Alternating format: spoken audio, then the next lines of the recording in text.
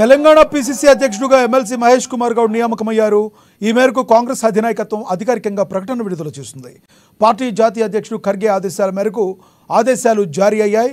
అలాగే త్వరలో మంత్రివర్గ విస్తరణ జరగనుందని టాక్ వినిపిస్తుంది. ఇప్పటికే సీఎంతో కలుపుకుని పన్నెండు మంది మంత్రివర్గంలో ఉన్నారు. మరో ఆరుగురికి మంత్రివర్గ విస్తరణలో అవకాశం దక్కనుందని సమాచారం. ఇదే విషయానికి సంబంధించి మరింత సమాచారాన్ని మా ప్రతినిధి హరీష్ అందిస్తారు. హరీష్ చెప్పండి. పిసిసి అధ్యక్షుడిగా మహేష్ కుమార్ గౌడ్ నియామకమైన విషయం మనకు తెలిసిందే. అయితే తాజాగా మంత్రివర్గంలో మరో ఆరుగురికి అవకాశం ఉండే అవకాశం ఉంది. మరి ఈ మంత్రివర్గ విస్తరణకు సంబంధించి ఆరుగురిలో రేసులో ఎవరెవరు ఉన్నారని అనుకోవచ్చు? రైట్ థ్యాంక్ యూ లక్ష్మీనాగ్ ఏదైతే కాంగ్రెస్ పార్టీ పిసిసి అధ్యక్షుడు సంబంధించి కూడా MLC working president Mahesh Kumar Goud అధిష్టానం ప్రకటించింది. ఇప్పుడు పిసిసికి సంబంధించి అంటే కార్యవర్గం ఏర్పడాలి. కార్యవర్గానికి సంబంధించి కూడా ఇప్పుడు కసరత్తు జరుగుతుంది. ఇక పిసిసిలో ముఖ్య నేతలు కావచ్చు గతంలో పనిచేసిన పార్టీకి సంబంధించిన సీనియర్ నేతలు అలాగే ఇప్పటికే కొనసాగుతున్న వర్కింగ్ ప్రెసిడెంట్ల కొనసాగుతున్న వారికి సంబంధించి ఏ ఏ శాఖలకు సంబంధించి కూడా భర్తీ చేయాలని పైన కూడా ఇప్పుడు పిసిసి కసరత్తు చేస్తుంది. ఇక దాంట్లో భాగంగానే ఇక పలువురు పేర్లు కూడా తెర మీదకి వస్తున్న నేపథ్యం కనిపిస్తుంది. ఎందుకంటే పిసిసి సంబంధించి కూడా ఆ పెద్ద ఎత్తున పోటీ నెలకొన్నది ఆ పిసిసికి సంబంధించి కూడా తమకు అవకాశాలు ఇవ్వాలంటూ కూడా ఢిల్లీ వేదిక కూడా లాభింగ్ చేసిన నేతలు ఉన్నారు కాబట్టి ఇప్పుడు వాళ్ళకి సంబంధించి కూడా ఎలా ఎక్కడ అకామిడేషన్ చేస్తారు? ఇప్పుడు పిసిసి కార్యవర్గం కార్యవర్గానికి సంబంధించి కూడా వర్కింగ్ ప్రెసిడెంట్లను ప్రకటించాలి. ఇక గతంలో ఐదుగురు వర్కింగ్ ప్రెసిడెంట్గా కొనసాగారు. ఇప్పుడు ఐదుగురు వర్కింగ్ ప్రెసిడెంట్లకు సంబంధించి కూడా ఏ ప్రాతిపాదికన తీసుకోవాలి? ఏ- ప్రాతిపాదికన కూడా భర్తీ చేయాలని కూడా ఇప్పుడు కాంగ్రెస్ పార్టీ భావిస్తున్నారు. భావిస్తున్న నేపథ్యం కాబట్టి ఇప్పుడు దానికి సంబంధించి కూడా గాంధీ భవన్లో పెద్ద ఎత్తున చర్చ జరుగుతున్న నేపథ్యం అయితే కష్టం ఇప్పటికే ఇక పిసిసికి సంబంధించి మహేష్ కుమార్ గౌడ్ని డిక్లేర్ చేసిన తర్వాత కార్యవర్గానికి సంబంధించి కూడా అధిష్టానం కూడా కన్ఫర్మ్ చేసినట్టుగా తెలుస్తుంది. దాంట్లో పలువురు పేర్లు తెర మీదకి వస్తున్న నేపథ్యం కనిపిస్తుంది. అయితే ఇప్పటికే వర్కింగ్ ప్రెసిడెంట్గా కొనసాగుతున్న జగ్గారెడ్డికి సంబంధించి కూడా ఆయన పిసిసి పదవికి సంబంధించి కూడా ఆశించారు. దానికి సంబంధించి సామాజిక కోణంలో కూడా అధిష్టానం నిర్ణయం తీసుకుంది కాబట్టి జగ్గారెడ్డికి సంబంధించి కూడా పిసిసి అవకాశం దక్కలేదు. ఇప్పుడు ఆయనను ప్రచార కమిటీ ఆ చైర్మన్గా కూడా నియమించాలని కూడా అధిష్టానం భావిస్తున్న నేపథ్యం అయితే కనిపిస్తుంది. ఇక ఇప్పటికే ఆయన వర్కింగ్ ప్రెసిడెంట్ ప్రెసిడెంట్గా కొనసాగుతున్నారు. ఇక పిసిసి ప్రచార కమిటీ ఆ చైర్మన్గా ఇప్పుడు మదియాష్కి గౌడ్ ఉన్నారు. ఆయనకు సంబంధించి కూడా పిసిసి కూడా అంటే చివరి నిమిషంలో కూడా మరి మదియాష్కి గౌడ్ మహేష్ కుమార్ గౌడ్ మళ్ళీ కూడా ఆయన పిసిసి తీవ్రమైన పోటీ నిలబడ్డది. ఇప్పుడు దానికి సంబంధించి ప్రచార కమిటీని జగ్గారెడ్డికి ఇస్తే మదియాష్కి సంబంధించి కూడా ఏఐసిసి సంబంధించిన పలు కీలకమైన పదవి ఇచ్చే అవకాశాలు అయితే కనిపిస్తున్నాయి. దాంట్లో భాగంగా ఇంకా మరికొంతమంది పేర్లు తెర మీదకి వస్తున్న నేపథ్యం అయితే ఉంది. ఇక అంజన్ కుమార్ యాదవ్ సంబంధించి కూడా గతంలో వర్కింగ్ ప్రెసిడెంట్గా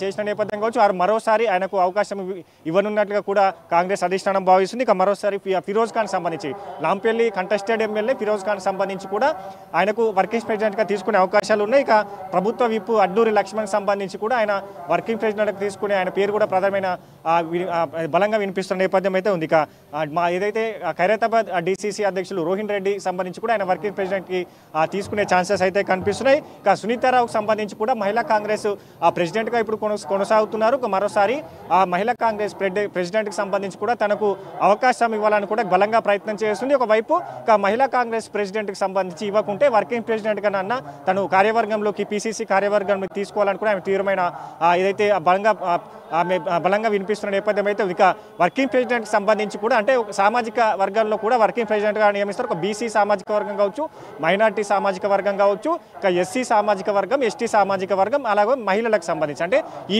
ఐదు సామాజిక వర్గంలో వర్కింగ్ ప్రెసిడెంట్గా నియమించబడతారు కాబట్టి ఇప్పుడు పిసిసి సంబంధించి వర్కింగ్ ప్రెసిడెంట్లో సునీతారావుకి ఏదైతే వర్కింగ్ ప్రెసిడెంట్గా అవకాశం ఇస్తే ఇక మహిళా కాంగ్రెస్ ప్రెసిడెంట్కి సంబంధించి కూడా సరిత తిరుపతయ్య పేరు కూడా ఆమె పేరు బలంగా వినిపిస్తుంది. ఆమె సంబంధించి కూడా మహిళా కాంగ్రెస్ ప్రెసిడెంట్కి సంబంధించి గతంలో పేరు వినిపించినా తాను ఆ వర్కింగ్ ప్రెసిడెంట్కు కూడా ఆమె బలంగా కోరుతున్నట్టుగా తెలుస్తుంది. ఇక ఇద్దరు పేర్లు అంటే మహిళలకు సంబంధించి కూడా ఇద్దరు పేరు అంటే సునీతారావు కావచ్చు ఇక్కడ సరిత తిరుపతి తిరుపతయ్యకి సంబంధించి ఒకరికి వర్కింగ్ ప్రెసిడెంట్గా ఇస్తే ఒకరి మహిళా కాంగ్రెస్ ప్రెసిడెంట్గా ఇచ్చే అవకాశాలు అయితే కనిపిస్తున్నాయి. ఇక మొత్తంగా పీసీసీకి సంబంధించి కూడా ఈ వర్కింగ్ ప్రెసిడెంట్ తర్వాత ఇతర సంబంధించిన అనుబంధ సంఘాలకు సంబంధించి కూడా ఇప్పటికే అకామిడేషన్ చేశారు. ఎస్సీ ఎస్టీ ఎస్టీ సెల్ కావచ్చు ఎస్సీ సెల్ కావచ్చు.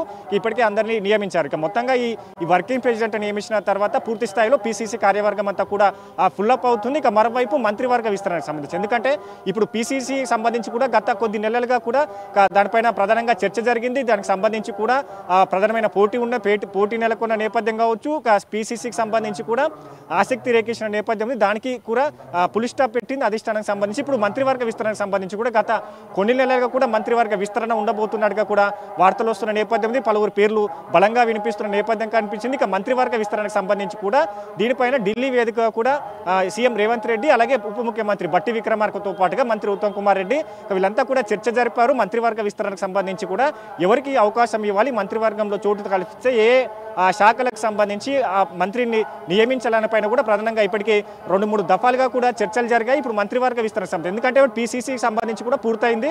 దాని తర్వాత మంత్రివర్గ విస్తరణ చేయాలి కాబట్టి ఎందుకంటే స్థానిక సంస్థలకు సంబంధించిన ఎన్నికలు రాబోతున్నాయి. దానికంటే ముందే ఈ అకామిడేషన్ చేస్తే ఇక పార్టీకి సంబంధించి కావచ్చు ఇక్కడ ప్రభుత్వానికి సంబంధించిన కార్యక్రమాలన్నీ కూడా బలంగా తీసుకెళ్ళాలి. ఇక మంత్రివర్గ విస్తరణతోటి పూర్తి స్థాయిలో గ్రామ స్థాయి నుంచి కూడా పార్టీ సంక్షేమ పథకాలు పార్టీ తీసుకొచ్చిన అభివృద్ధి కార్యక్రమాలు వీటన్నిటిని కూడా ప్రజాక్షేత్రంలో వివరించేందుకు కూడా ఏదైతే సున్నితంగా ఉంటుంది కాబట్టి ఇప్పుడు మంత్రివర్గ విస్తరణకు సంబంధించి ఇక మరోసారి తెర మీదకి వస్తుంది. ఇక మంత్రివర్గ సంబంధించి కూడా ఇప్పటికే సీఎం రేవంత్ రెడ్డితో పాటుగా పన్నెండు మంది మంత్రివర్గంలో ఉన్నారు. ఇప్పుడు ఇక మరికొంతమంది అంటే ఆరుగురు మంత్రివర్గంలోకి తీసుకునే అవకాశం అయితే కనిపిస్తుంది. ఇక అధిష్టానం ఆ దృష్టిలో మాత్రం ఇక నాలుగురికి సంబంధించి అంటే నాలుగు మంత్రివర్గ నాలుగు మంత్రివర్గ విస్తరణ తీసుకొని రెండు పెండింగ్లో పెట్టే అవకాశాలు అయితే కనిపిస్తున్నాయి. ఇక దాంట్లో తీవ్రమైన పోటీ నెలకొన్న నేపథ్యం అయితే కనిపిస్తుంది. ఎందుకంటే మంత్రివర్గ విస్తరణకు సంబంధించి కూడా గతంలో సీఎం రేవంత్ రెడ్డికి సంబంధించిన హామీలు ఇచ్చారు.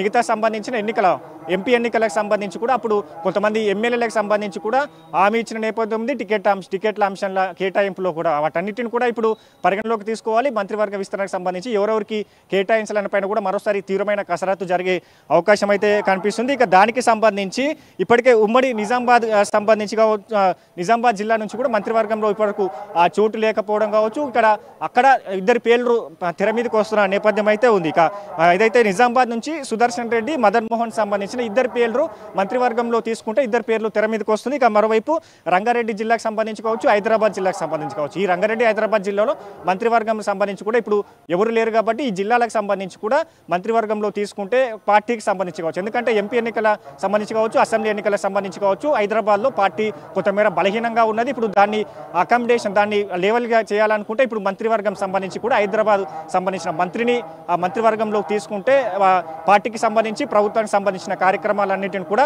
సులభత సులభతరంగా అవుతాయని కూడా ఇప్పుడు ఏదైతే అధిష్టానం భావిస్తున్న నేపథ్యం కావచ్చు వీటన్నిటిని అంచనాలు తీసుకున్న నేపథ్యం అయితే కనిపిస్తుంది. ఇక రంగారెడ్డి జిల్లాకు సంబంధించి కూడా మల్లా మల్రెడ్డి రంగారెడ్డి పేరు తెర మీదకి వస్తుంది. ఇక మరో మరో ఒక రామ్మోహన్ రెడ్డికి సంబంధించి కూడా ఆయన పేరు ఇద్దరు పేర్లు రంగారెడ్డి జిల్లా నుంచి వస్తున్నాయి. ఇక హైదరాబాద్కి సంబంధించి కూడా దానం నాగేందర్ పేరు తెర మీదకి వస్తుంది. ఎందుకంటే పార్టీకి సంబంధించిన చేరికల అంశంగా వచ్చింది ఎందుకంటే బీఆర్ఎస్ పార్టీని ఖాళీ చే ఖాళీ చేయించడంలో ఒక కీలకమైన పాత్ర వహిస్తున్నారు. పార్టీకి సంబంధించిన ఎమ్మెల్యేల చేరిక అంశంలో కూడా దానం నాగేందర్ సంబంధించి కూడా కీలక కీలకమైన పాత్ర వహిస్తున్న నేపథ్యం కావచ్చు ఇప్పుడు హైదరాబాద్కి సంబంధించి ఆయన ఏదైతే ఎనర్జిటి ఎనర్జెటిక్ లీడర్గా పేరు తెచ్చుకున్న నేపథ్యం ఉన్నది కాబట్టి ఇప్పుడు ఆయనని మంత్రివర్గంలో తీసుకుంటే హైదరాబాద్కి సంబంధించి కూడా పార్టీ బలోపేతం కావచ్చు పార్టీకి సంబంధించిన కార్యక్రమాలు కావచ్చు ప్రభుత్వానికి సంబంధించిన కార్యక్రమాలు కావచ్చు. హైదరాబాద్లో పార్టీని బల బల బలోపేత దిశగా కూడా అడుగులు వేసేందుకు కూడా ఇప్పుడు ఆ దిశగా కూడా ఆలోచిస్తున్న నేపథ్యం అయితే కనిపిస్తుంది. ఇక సామాజిక వర్గ సంబంధించి కోణంలో కూడా మరొక తెర మీదకి వస్తున్న నేపథ్యం. అంటే ఇప్పటికే పీసీసీకి సంబంధించి కూడా సామాజిక వర్గంలోకి ఆ తర్వాతనే సామాజిక వర్గం కోణంలో దానిపైన నిర్ణయం తీసుకున్నారు కాబట్టి మంత్రివర్గ విస్తరణలకు సంబంధించి కూడా ఈ రెండు సంబంధించిన కోణాల్లో అధిష్టానం ఆలోచిస్తున్నట్టుగా తెలుస్తున్న నేపథ్యం అయితే కనిపిస్తుంది. ఇక మున్నూరు కాపు సామాజిక వర్గానికి సంబంధించి కూడా ప్రభుత్వ విప్పు ఆది శ్రీనివాస్ బలంగా కోరుతున్నారు. మరోవైపు ఎస్టీ సామాజిక ఎస్- ఎస్టీ సామాజిక వర్గానికి సంబంధించి కూడా బలరాం నాయక్ ఆయన పేరు కూడా బలంగా మంత్రివర్గం చోటు కావాలని కూడా బలంగా కోరుతున్న నేపథ్యం. ఎందుకంటే పీసీసీకి సంబంధించి కూడా ఆయన తీవ్రమైన పోటీ చేశారు. పీసీసీ కావాలని కూడా ఆ ఢిల్లీ వేదిక లాబీ లాబియం కావచ్చు. ఇక పీసీసీ ఇక్కడ సీఎం రేవంత్ రెడ్డితో కూడా ఆయన చర్చలు జరిపిన నేపథ్యం అయితే ఉంది. ఇప్పుడు పీసీసీ దక్కలేదు కాబట్టి ఖచ్చితంగా మంత్రివర్గం ఆయన కోరే అవకాశం అయితే కనిపిస్తుంది. ఇక ముదిరాజు సామాజిక వర్గానికి సంబంధించి శ్రీహరి పేరు తెర మీదకి వస్తున్నది. వాకిటి శ్రీహరి సంబంధించి కూడా ఆయన గతంలో ఎంపీ ఎన్నికలకు సంబంధించి స్వయంగా సీఎం రేవంత్ రెడ్డి హామీ ఇచ్చారు. ముదిరాజు సామాజిక వర్గానికి సంబంధించి మంత్రి మంత్రివర్గంలో చోటు కల్పిస్తామని కూడా ఆయన హామీ ఇచ్చారు కాబట్టి ఇప్పుడు దానికి సంబంధించి కూడా అంశాన్ని కూడా పరిగణలోకి తీసుకునే అవకాశం అయితే కనిపిస్తుంది. ఇక చాకలి సామాజిక వర్గానికి సంబంధించి కూడా షాద్నగర్ ఎమ్మెల్యే వీర్లపల్లి శంకర్ సంబంధించి ఆయన పేరు తెర మీదకి వస్తున్న నేపథ్యం అయితే కనిపిస్తుంది. ఇక మొత్తంగా అంటే కోమటిరెడ్డి రాజగోపాల్ రెడ్డికి సంబంధించి కూడా ఆయన భువనగిరి టికెట్కి సంబంధించి ఎంపీ ఆ టికెట్ తన కుటుంబ సభ్యులకు కోరడం జరిగింది. ఆ టికెట్ను చామల కిరణ్ కుమార్ రెడ్డికి ఆ ఏదైతే ఆ చర్చల తర్వాత ఆయన కిరణ్ కుమార్ రెడ్డికి ఆ టికెట్ సీ ఆ టికెట్ను కేటాయించడం జరిగింది. అప్పుడు ఈ హామీ మేరకే ఆయన ఆ సీట్ను వదులుకున్నట్టుగా తెలుస్తున్న నేపథ్యం అయితే ఉంది. ఇప్పుడు దానికి సంబంధించి కూడా రాజగోపాల్ రెడ్డికి సంబంధించి మంత్రివర్గంలో ఆయన కూడా బలంగా కోరుతున్న నేపథ్యం అయితే కనిపిస్తుంది.